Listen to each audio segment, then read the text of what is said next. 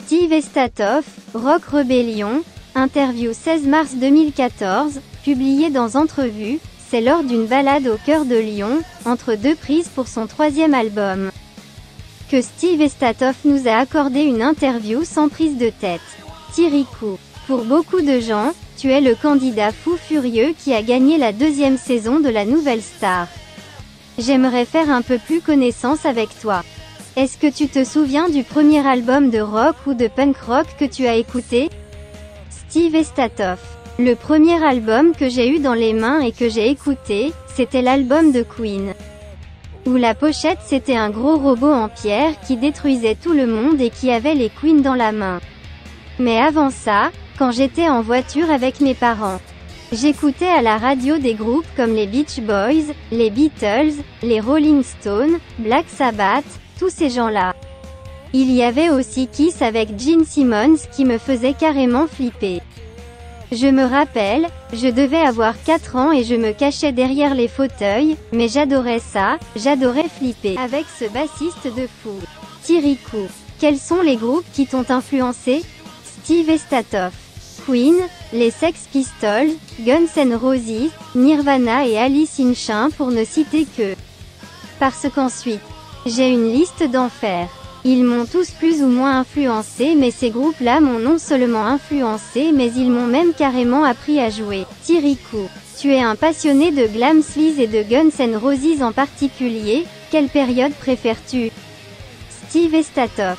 Même si je suis un gros fan de rock and roll parce que pour moi le rock and roll c'est une religion et que je suis fan de quasiment tous les styles tant qu'ils sont magiques dans le rock.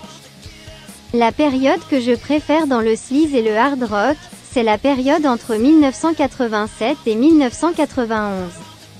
C'est là que j'ai vraiment pris un pied total avec quelque chose de roots, de magique. Dans ce style précis, c'est là là où j'ai vraiment vécu les plus grands trucs. Tirikou. Avant de participer à l'émission, tu as joué dans plusieurs groupes, c'était quel style musical? Steve Estatoff. Des groupes, J'en ai eu des tonnes. J'ai été tour à tour batteur, guitariste, bassiste. Mais on va dire que réellement, ceux qui comptent pour moi, ceux avec qui j'ai fait mon apprentissage musical, avec qui j'ai fait mes premières scènes. Mes premiers enregistrements, il y a quatre groupes. Le premier groupe, c'est les Pacemakers avec qui j'ai fait les 24 heures du rock à Grenoble. C'était un festival. C'était aussi une première télé. C'était un groupe plutôt de punk rock, rock alternatif dans l'esprit, à l'époque déjà en avance, un peu des Green Day. En même temps, j'avais aussi un groupe qui s'appelait les Flèches to Flèches, qui était plutôt un groupe de hard rock sleeve, et heavy metal aussi. C'était ça le style et d'ailleurs sur le Poison idéal. J'ai repris un titre qu'on faisait à l'époque qui s'appelle L'Ange Noir, et qui est dans un esprit hard rock et glam aussi. Ensuite, j'ai monté un groupe avec mes petits frères qui à l'époque devaient avoir 4 et 7 ans, un truc comme ça. Je joue toujours avec mes frères, mais là c'est quand ils ont débuté. D'ailleurs à l'époque, mes frères étaient inversés. Cliff était à la batterie et Mike à la basse. Et là, on faisait plutôt du punk rock grunge. Hard rock. Et ensuite, j'ai monté un nouveau groupe qui s'appelait Frénégonde. Là, je faisais le même style que ce que je fais maintenant, plutôt axé punk rock. Tirikou. Dans quelle optique t'es-tu rendu à l'audition de la nouvelle star? Steve Estatoff. Je m'y suis rendu avec plusieurs idées en tête. La première, c'était déjà d'essayer de me faire connaître du grand public et de montrer qu'il y avait autre chose que de ne chanter qu'un style. À l'époque, je galérais vraiment. J'avais quitté tous mes groupes et je me retrouvais solo. Je me suis dit, je vais tenter ma chance et essayer de me faire remarquer par une maison de disques, un producteur, voir les deux. Et aussi, voir si j'étais capable de chanter en prime time dans une émission énorme devant des millions de téléspectateurs. Je ne savais pas si j'étais capable de faire ça. Je me disais, je vais peut-être m'évanouir. Il va peut-être se passer un truc. Et puis finalement, j'ai eu tout ça. J'ai pu chanter devant les gens et j'ai pu avoir une maison de disques. Des producteurs et faire des tournées. Tirikou. Est-ce que ça n'a pas été compliqué de faire du hard rock en prime time? Steve Estatoff. C'est toujours compliqué de toute façon en France de faire de la musique rock and roll, quoi qu'il arrive. Rock ou hard rock? Donc oui, c'était super compliqué parce qu'il fallait en gros que je négocie. Si j'essayais d'imposer un titre comme ACDC, Nirvana, Guns N' Roses ou Sex Pistols, en échange il fallait que je chante un truc de variété. C'était ça le deal. Bien que là je simplifie parce que c'était beaucoup plus compliqué que ça. Plusieurs fois. J'ai failli me faire virer de l'émission ou bien moi-même partir parce qu'on ne s'entendait pas du tout là-dessus. J'ai donc été obligé de trouver des trucs, des excuses du genre, oui, mais c'est les 10 ans de l'anniversaire de la mort de Kurt Cobain. Ah oui, mais les Sex Pistols, c'était Supéine, ou ACDC, c'est fédérateur. Il fallait que je parlemente pendant des semaines en général pour vraiment arriver à placer un titre comme ça. Et en échange j'étais obligé de chanter des titres qui ne me plaisaient pas du tout et qui étaient assez atroces. Tirikou. Le fait de gagner l'émission t'a ouvert des portes, mais du coup pour le premier album, tu as pu faire ce que tu voulais? Steve Estatoff. Ben, c'est exactement pareil. Oui. Ça m'a ouvert des portes, ça m'a fait connaître du grand public et ça m'a permis de signer avec une maison de disques. Mais là aussi, il a fallu négocier parce qu'en général, quand tu sors de ce genre d'émission, on t'impose ce que tu dois faire. Point barre. Sauf que moi, j'étais le premier à vouloir à tout prix imposer mes titres. Enfin c'est pareil, c'est un compromis. Si j'avais cinq titres qu'on m'imposait à peu près, même si j'ai pu choisir les gens que je préférais dans le milieu, j'ai dû imposer la moitié de l'album de trucs à moi. C'était une contrepartie comme pendant l'émission. Tirikou. Et tu es content du résultat musical? Steve Estatoff. Je m'en suis bien sorti. Et oui, je suis très content de mon premier album dans le sens où c'était mon premier vrai album professionnel distribué dans toute la France, voire en Europe. J'étais content parce que cet album montrait ce que j'étais capable de faire dans tout le panel de la musique rock. Tirikou. Tu as remis le couvert avec un deuxième CD, Poison idéal, plus glam rock. C'était pour tirer un trait sur ton image de télé-réalité ou vraiment un besoin de faire ce que tu voulais Steve Estatoff. Je n'ai jamais voulu tirer un trait sur mon image parce que j'assume ce que je fais. Je le fais et puis c'est tout. Je pense surtout à la musique avant tout. Et en plus, ce n'était pas une télé-réalité mais un télé-crochet. C'était plus sympa on va dire. La télé-réalité, je ne l'aurais pas fait, c'est pas trop mon truc, même si je n'ai rien contre. Non. Mon deuxième album, c'était vraiment un retour aux sources. Je voulais montrer au public qui aimait ma musique ce que moi j'aimais et qui m'avait construit en fait. Mon rêve était de faire un super album complètement hard rock sleaze à Los Angeles pour aller au bout du rêve de l'adolescent que j'étais. Adolescent. J'avais une chambre remplie de posters de tous ces groupes, de Guns N' Roses et de tout ça. J'avais 14-15e ans, et dans ma tête je rêvais. Je faisais des rêves comme ça, magnifiques. Je disais à tous mes potes, un jour, j'irai enregistrer à Los Angeles dans le studio des Guns N' Roses. Et ils me répondaient, c'est ça, oui. Alors quand j'en ai eu l'opportunité, je n'ai pas hésité. Pour moi, la boucle était bouclée et je pouvais enfin être libre. J'ai enregistré avec le mec qui a enregistré les Guns, ACDC, Poison. Je me suis retrouvé avec Mick Fraser. En plus, je rencontrais des mecs comme Brian Adams. J'ai même joué sur un piano qui avait servi à enregistrer November Rain des Guns N' Roses. Je me suis éclaté et j'ai été au bout de mon rêve. Quand j'avais 14 ans et que j'étais dans la région de Grenoble, ça paraissait impossible. Donc c'était vraiment fou. Après, je me suis dit, c'est fait, maintenant je peux passer à autre chose. C'est quelque chose dont je suis super content. J'ai assouvi mes rêves d'ado, je suis allé au bout de mon trip. Voilà. Tirikou. Comment ta maison de disques a pris ce choix musical? Steve Estatoff. C'était pareil. C'est très difficile de faire accepter ça parce qu'en France tout simplement c'est très difficile. Après ça dépendait des personnes. Il a fallu que je me batte pendant 4 à 5 ans pour aller au bout de mon truc. Il a fallu que je sorte des arguments pas possibles.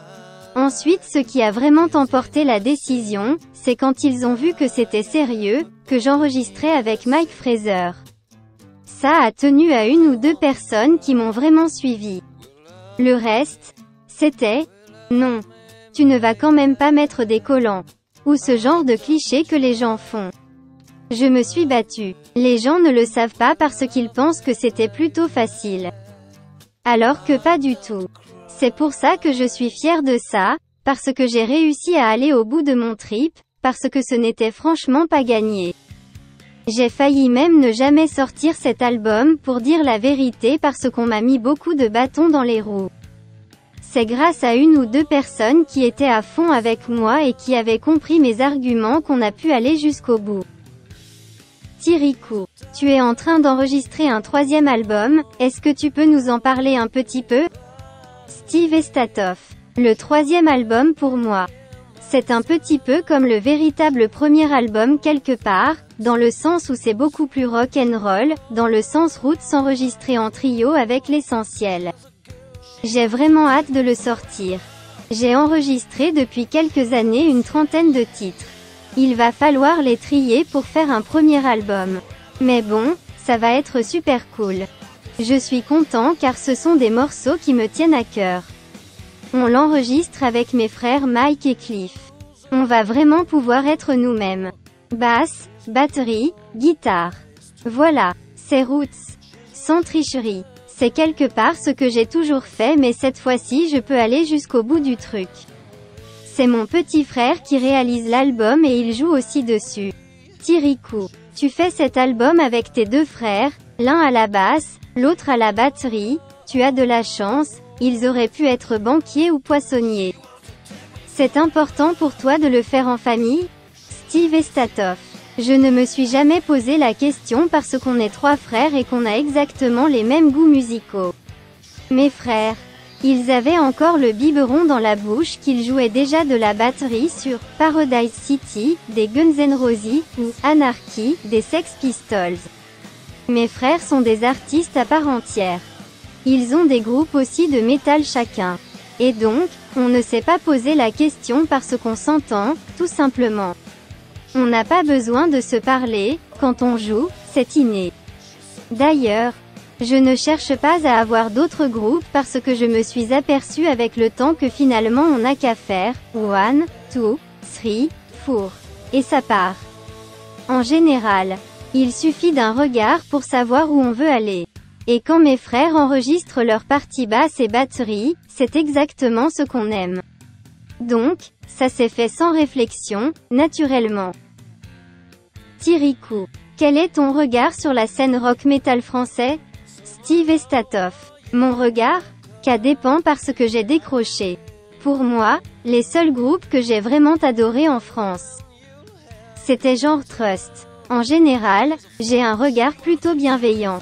Je trouve ça cool et j'espère que ça ira de mieux en mieux.